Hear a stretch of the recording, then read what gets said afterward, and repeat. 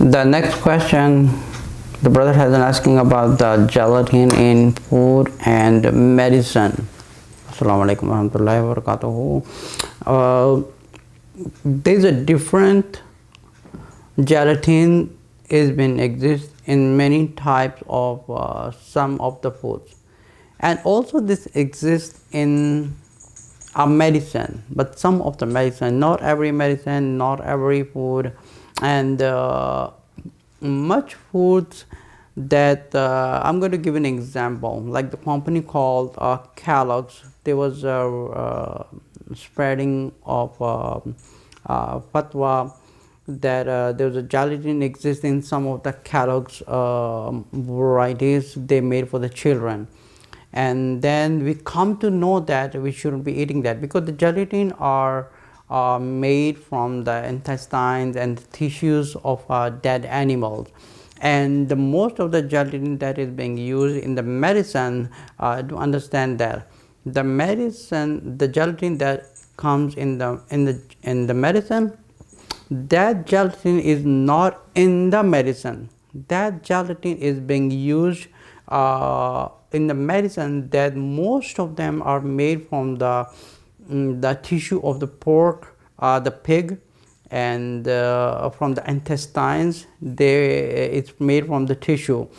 And that gelatin is the actually the cover the medicine that we eat it's not the tablets it's a capsules that you eat. And it is highly encouraged to all the muslims if you have a medicine that is a capsule but not in a tablet shape that capsule you have to uh, open the cover and eat the medicine and throw the cover away. Because that particular cover exists gelatin of a pig.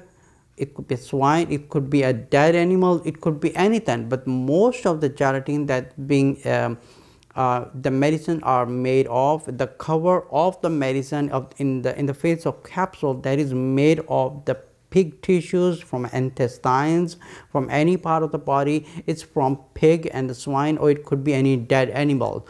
But if you look at the food of the children that particular gelatin is being taken from the from the dead. It could be a dead cows it could be a dead animals that is not halal and that is not supposed to be eaten. And when it comes to the uh, medicine if you're eating a capsule make sure you remove the cover and open up very slightly and you just open up in your mouth and make sure you throw the all the just squeeze the cover so the all the medicine the powder whatever the liquid would go into your mouth and throw the cover away because that cover is made so it will go into the stomach and it will um, melt right away and uh, you will be it, the medicine will go uh, fly off in your body. But that cover should be like thrown away because that is made of a gelatin from the pig tissue or intestine or it could be any dead animal. But there are some medicines but there are some medicine which does have included uh, gelatin in the medicine in the in the medicine. The gelatin exists there. And those are something which can be taken when something you have no option uh, to take any other medicine except that medicine. In that case it is permissible to take it.